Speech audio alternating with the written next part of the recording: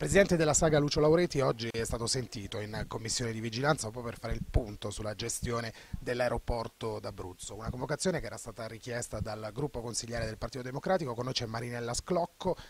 siete soddisfatti? Sono stati toccati diversi argomenti, dai piani marketing ai progetti per l'aeroporto, siete soddisfatti di, delle risposte che avete ricevuto da Laureti? Sì, avevamo ragione ad insistere su, sul, sull'incontro con il Presidente perché in effetti è vero quello che noi temevamo e avevamo appunto ipotizzato e cioè eh, purtroppo l'aeroporto ha dei debiti ma la cosa che è venuta fuori da questo incontro con il Presidente Laureti è che i debiti ce li ha perché la Regione non onora il contratto che ha fatto con l'aeroporto stesso. Eh, inoltre l'aeroporto ha diversi dire, contenziosi in corso, sia con il personale ma anche con Fly On Air e eh, naturalmente dire, il piano marketing che la Regione fa eh, con, eh, con l'aeroporto non è eh, stato onorato. Eh, Quali sono i prossimi passi, consigliera? Naturalmente ecco, bisogna pensare a, a, una progettualità che sia fatta in maniera seria. ci sono i fondi FAS che prevedono dei, del, delle quote per l'aeroporto di Pescara per quanto riguarda la pista, il parcheggio e l'aerostazione.